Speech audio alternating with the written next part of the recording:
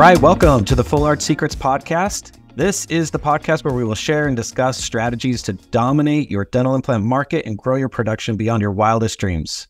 And as you guys know, we're on a mission to help as many practices grow and to help change as many patients' lives through dental implant treatment. So we'd love your help in getting the word out there.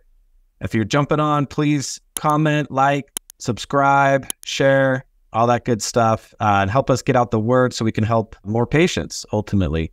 I am Spencer Walker. I'm the CEO of Dental Implant Machine, and this is Robin Dackman, renowned treatment closing master and guide and, and director of our Full Arch Closing Certification Program. And Robin, we are so grateful to have you on the podcast today. So thanks. Thank you. I'm going to throw our uh, Full Arch framework for anybody who can see this. There you go. And for anybody who can't see it, let me just remind you. So it's a frame. It looks kind of like a Roman building, kind of like the Pantheon or something like that.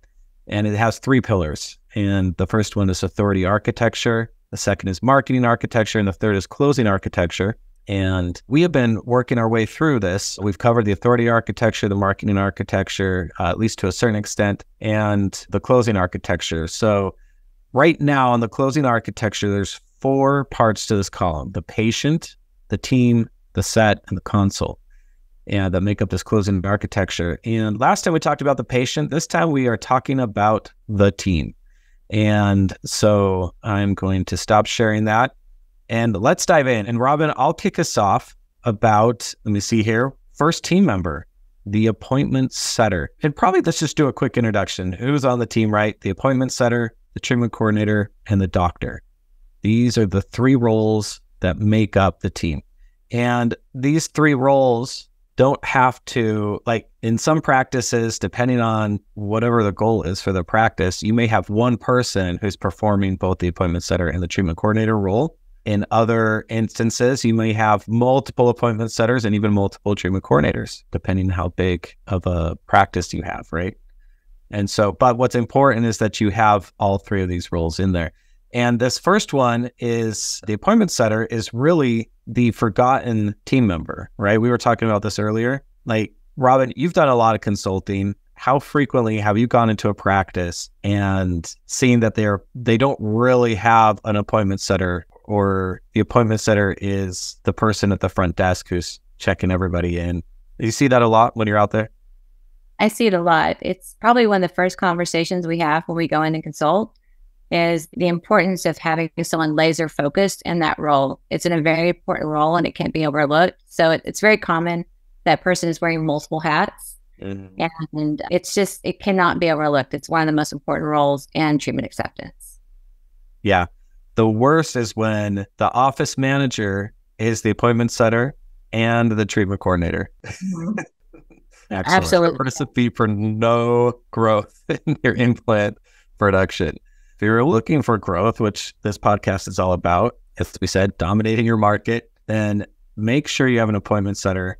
Make sure that appointment setter, it's fine if that person works the front desk too, but give them time away from the front desk in a quiet place where they can jump on the phone. I mean, just think for a second about this, right? You can imagine here's this person working the front desk, phones buzzing, people are walking in, and here they are on the phone talking to somebody who potentially, if they were treated right and felt comfortable, could come in and spend thirty to sixty thousand dollars in your practice. And imagine your receptionist there saying, "Oh, just a second, I have a hygiene patient that needs to be checked in." Right? Like, let me put you on hold for a few moments. Click. and Robin, you were saying earlier too, you read some study where just trying to shift from doing one thing to another, how difficult that is for human beings. Well, tell us about that. It's very difficult. And I know for me personally, like if I get focused on something, it's hard for me to stop that task and refocus myself on another task. It takes a few minutes to just get back into that mind frame of whatever it is that you're now transitioning to. So if somebody is checking people in and out and then they need to pick up the phone and schedule a consult, it's really hard to multitask in this position. And, you know, people always want somebody to come work for them that can multitask. But the reality is that naturally people take about 25 minutes, and studies have shown this, it takes about 25 minutes to refocus yourself. Mm-hmm. So it's just really not possible to check people in and out also devote the time you need to returning the calls, these leads or incoming calls. One thing that I've suggested is to have times during the day that are those peak callback times. Mm-hmm. So there's times that we know that are the best times that we can call patients back. During those times, have some time set aside for your setter that they can go into a room that's quiet. They can call leads back. I mean, we want people to call back leads as quickly as possible. But if they are in a situation where they're checking people out and they're working the front desk and they're wearing multiple hats, have at least some time set aside to where they can call back leads at those peak opportunities. And depending on the practice, I mean, the lead quantity, it might be maybe 30 minutes to a few hours, or potentially that's their full time job, right? Really, it's their full time job. Yeah. Right. So, yeah, especially if you're looking to really grow your practice, you definitely need to have that. I've worked with a lot of practices where, you know, having that person, that treatment coordinator, appointment setter be the same person works out. But when you try to scale, you have to divide that. You have to. I actually talked to a doctor just this week who was spending $60,000 on marketing and advertising between everything that they were doing on implant production and not getting that many cases in. And he was trying to like two and a half times the quantity of cases. And for that amount of spend, he could have. But the problem was he had an appointment setter and a treatment coordinator that were the same person. He was limited. That person could only do so many phone calls and only so many consults and follow ups. They were just limited. And I was like, you know, you're trying to throw money at a problem, but that's not the problem. That's not the solution to the situation. You need to actually probably spend less and just hire another person and you'll get way more out of that. So great, great stuff here. One thing that we talked about is that this person should be a good listener, be able to ask good questions and able to build rapport quickly. These are tools of persuasion. And, you know, my background would say like these are really sales skills these aren't, which, you know, sales is only a dirty word if it's unethical. And what we're trying to do is just be persuasive and help people uh, calm their fears, their concerns, build value. And I mean, obviously, you know, you doctors are investing in your clinical and trying to build up a practice. And you have to convince them to go, you know, these people to come in and believe that you're the best solution. And that takes somebody who has certain types of skills to be able to accomplish. So make sure that you have somebody in that spot. I'll tell a quick story.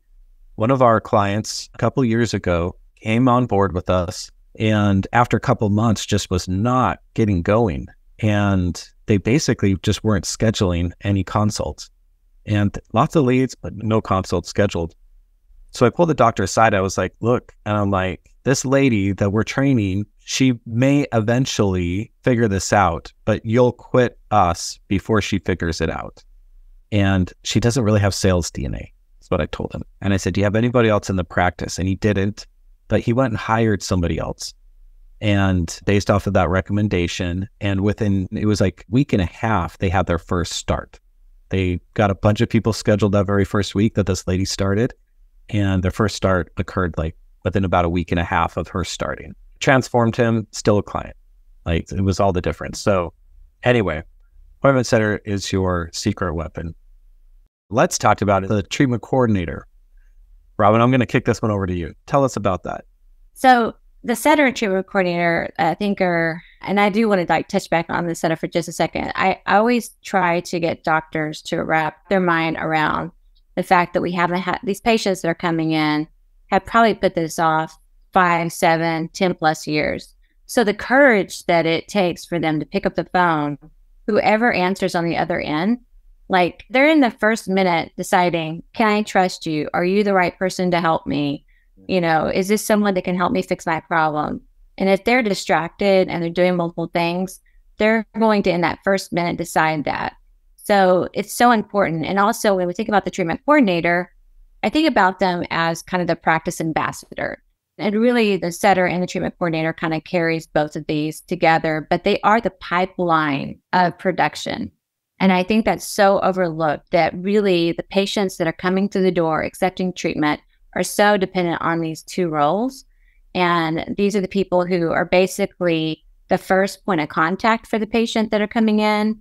They are, like I said, they're kind of like the practice ambassador. They're who they first meet, they sit down with, And again, decide can I trust you? Is this the right team to help me? Is this the right doctor, the right practice?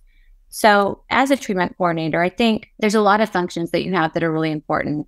But the two main functions as a treatment coordinator is you always need to either have a patient sitting in front of you that you're presenting treatment to, or that you're reaching out to unscheduled patients. So those are the two primary functions I think as a treatment coordinator that you need to be doing constantly. That needs to be your sole focus. And that's why it's so important to be laser focused in these roles. If you're wearing multiple hats like we talked about before and, you know, maybe you're performing another function and then you're also treatment coordinating. A lot of times it's the office manager, maybe the treatment coordinator or the setter and the treatment coordinator, but it takes time to refocus. And as a treatment coordinator, if you don't have a patient in front of you, you need to be always working like your book of business, your pipeline. So the patients that you've seen previously. So that needs to be your sole focus during the day. To me, those are the most two important components of a treatment coordinator. And if you're able to do that, then you can be pushing patients through the same day, accepting treatment the same day they come in, or cultivating all those patients that you've seen in the past. So to me, that's really the primary function of a treatment coordinator is be the ambassador, be a subject matter expert. You know, you need to present yourself as someone who is really just an expert in your field. I think that's so important. They need to look at you as an authority figure. Mm-hmm. And so you need to be working those two things constantly. Excellent. And I would add to this again, I'm going to, you know, say the S word. Salesperson should be a have a sales background probably our top clients are hiring pharmaceutical reps or even car salespeople. It's only unethical if you're pushing something that a uh, treatment that a patient doesn't need. And we are not looking for somebody who's going to be pushy, but somebody who's persuasive, who can allay those fears and help them feel good and comfortable. Just all those wonderful things that you just said, right? So it behooves you to invest in this person and make sure they have the appropriate training and that they have the natural, you know, skill set, that sales type DNA, they're geared for it, right? And well trained and ready to go. So, all right. Robin, talk to us also about the doctor and their role in the team. I think the doctor is such a key component. You know, working with practices, doctors who really share their vision with the practice, I think they really outperform practices where the doctors don't take that lead you go into a lot of practices and the doctor's a little more hands off with the team. Maybe the office manager has that role where they're more hands on, which the office manager definitely does need to manage the team. They need to be hands on. But I think that when a doctor has a really clear vision for the team and everybody's moving in the same direction that comes from the doctor, like the doctor wants everybody to be, you know, accountable for their KPIs. They want them to work their leads. They want them to work the unscheduled treatment everybody's working together. And really, a big component, I think, with the doctor is to come together and to openly discuss patients that have come in and have open discussion and feedback on what's working, what's not working. And everybody, and it comes from the doctor, will communicate together of how to best move that patient forward.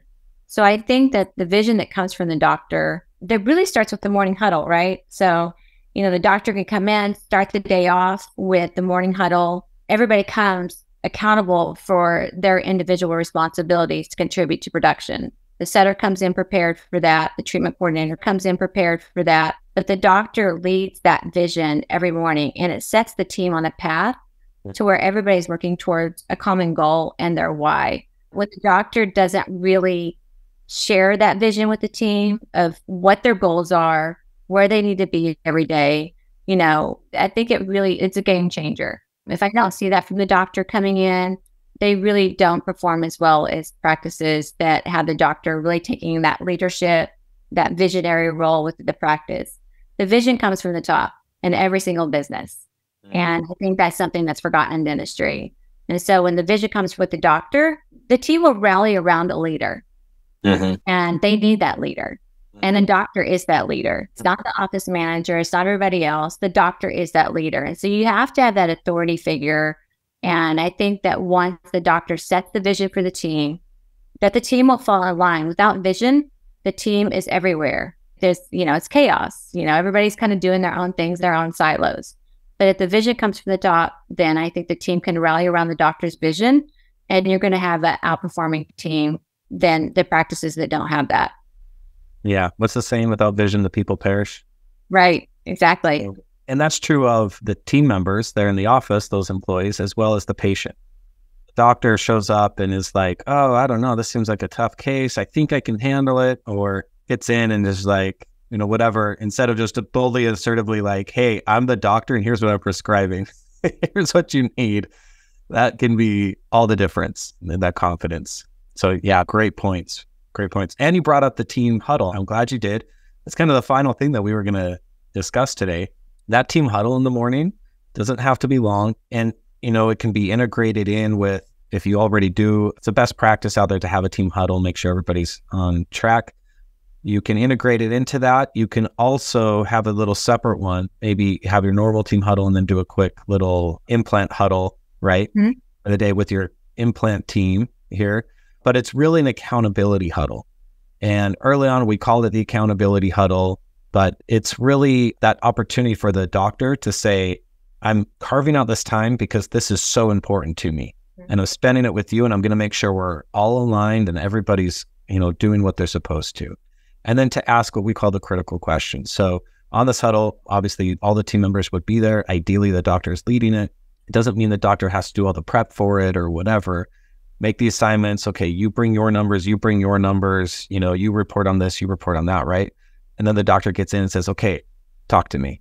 What happened here? What's going on with that? You know, and ask the questions and how people feel accountable, especially in a practice where the doctor, it works in every practice. I don't care if you're in a DSO or whatever, but especially when the doctor is the one who cuts the paycheck and is mm-hmm. like, I've asked you to do X. This is your job. Did you do it? And how well are you doing it? Right. All of a sudden, that person feels much more accountable to actually fulfilling all that and getting their job done. So, some of the critical questions that you would want to ask in this. Oh, let me just say one other quick thing before we get into the critical questions is if you have any sort of dashboard where you have leads coming in or some sort of pipeline, if you're using some sort of software, CRM or whatever to manage that inside Dental Implant Machine, we have one, we call it the Command Center. I highly encourage you to open that up, have your team members open that up. So, you know, best practice would be they're actually recording their numbers in some sort of spreadsheet, you know, somewhere so that you can see them over time, what's going on, but keeping track of that so you can see trends, et cetera. But it also is important to not just have that reporting tool, but to also visually see if leads are being moved through the pipeline. Mm-hmm. And, you know, from stage to stage. I have been in many calls with clients where the appointment setter is like, or the treatment coordinator is like, I've called everybody, I've, you know, nobody's responding. And then we pull up the command center and lo and behold, there's, you know, 30 or 50 new leads that have never been contacted. They literally have not been logging in and doing their daily actions. They've been telling the doctor they were doing it. In some cases, they were even having a daily huddle and they were saying they were doing it, but they actually hadn't. They were busy, they had a lot going on. Doctor visually didn't confirm. So open it up. It just adds that extra element of making sure that somebody's doing what they're supposed to, saying what they're doing, or doing what they're saying, and then ask some of these questions. These are some of the critical questions how many appointments did we schedule yesterday? How many appointments were on the schedule for yesterday and how many showed? How many are on the schedule for today? And are we prepared for today's consultations? We coordinate that. Who's coming in? What's their name? Do we have everything, you know? How many treatment starts came from yesterday? How many patients have you presented treatment to that are now, you know, your unscheduled treatment? How many are on the unscheduled treatment list? And is anybody getting close to starting? What's the status of that? These are just some simple questions. There are others you could get into talking about, you know, is the lab, is this ready for that person? Is this, you know, it's a time you could coordinate with that. There's others in our full arch closing certification program. We teach this and we have a few other questions and some more to it. It's a little bit more robust than this, but at a minimum, do this and it's going to be life changing, especially again, if you're the doctor and you're asking these questions. Robin, am I missing anything here on the team huddle that you would want to contribute? There's a couple things that I think are really important for the morning huddle. So, as a treatment coordinator, and I'm, I'm speaking from experience of a treatment coordinator doing, you know, a lot of production. Mm-hmm. As a treatment coordinator, I think every day you need to bring five hot leads to your morning huddle. Mm-hmm. And these are like the five hottest leads you have. Of course, we have unscheduled treatment, like, you know, we can call, we can work But these are like the five patients that are on the tipping point hmm. that we want to get in the door. And we always want to bring those to the huddle. So I always encourage everybody have five hot leads ready. Why do we want to bring them to the morning huddle?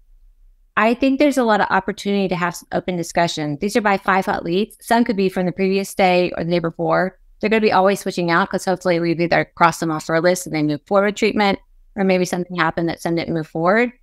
But when we come together as a team and we look at those five hot leads, there could be something within that team that I don't see as a treatment coordinator that could help push that patient forward. So, for example, the doctor could say, you know what, I remember that patient had a really maybe severe infection, maybe there was some medical concerns. I think that I could take the lead on this and call the patient back and readdress. And I know that we don't have the doctor calling all the patients back, but there could be the doctor could say, you know what, I had really good rapport with that patient. And I am really concerned about that infection they had or the low bone or something like that. I am going to help. Let's coordinate together to figure out how can we get that patient back in by really building urgency with that one specific situation. So we can, as a team, take a look to say, okay, what are some tipping points that we have for these five hot leads? How can we come together? Maybe somebody in that group knows something or has a you know, connection to that patient and we work together to get that patient back through the door. So those five hot leads I think are very critical. And I think that we should always have those front and center and we should be working those very aggressively every day and as a team. We're all working together as a team to get those five hot leads to the door. The other thing, and this is a tricky one, and you have to be careful as a treatment coordinator. I know that doctors, you know, they are an authority figure, and sometimes feedback and you know, especially from a treatment coordinator, feedback from a doctor treatment coordinator. I'm saying this knowing some doctors are listening in, but I can sit there and when the doctor is giving the prescribed treatment plan, I can see visually that maybe if they blew up the CT scan and maybe honed in on an urgency a little bit more, I can sit back and see that maybe there was some missed opportunities. The doctor could have built urgency, either health urgency, time urgency, maybe some financial urgency there's maybe some different things that we could work together in the future. So it's a good time to, I think, share feedback with the team of maybe some missed opportunities. And also that kind of ties into our hot leads, like how can we go back and readdress those? Mm-hmm. That's a really good time to share feedback with the team of how can we work together to I as a treatment coordinator, I'm going to provide you all the information that I just gathered on the patient. I'm going to try to guide you to help build urgency when you go in and prescribe treatment and the doctors are pulling being pulled in all different directions. So sometimes it's hard for them to go in and remember all those things when they're prescribing the treatment. I think when we kind of get into that rhythm to where we're providing feedback after the prescribed treatment plan has been delivered, that's a really good time for us to have open communication about those things during the huddle. And like you said, this not might not be a time for the whole huddle with the clinical team. This could be a time for like that implant huddle.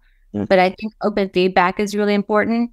And on the flip side, it could be the doctor expresses with the team, you didn't give me a good urgency yesterday.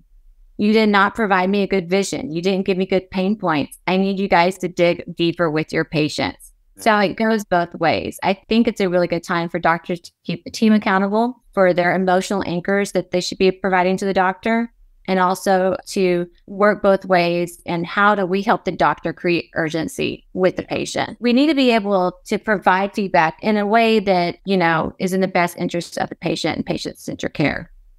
I love it. I love it. All right. Well today we've captured or talked about the team. Who's on the team overview of what their role is how to keep the team accountable and organized and cohesive and working together and next time we're going to talk about the set and then we'll get into the consult. So we're going to talk about script, like how to, you know, engage somebody, how to get more people actually, more of those leads actually turning into consults. And here's a little secret. The setter is responsible for the show rate. Like what they say on the phone will dictate whether that person, whether more people show up for their appointments or not. So we're going to talk some about that and get into some of these nitty gritty things that you guys can do that will just skyrocket your close rate. So very excited about that, Robin. Thank you so much for jumping on with us today. And until next time, thanks everybody.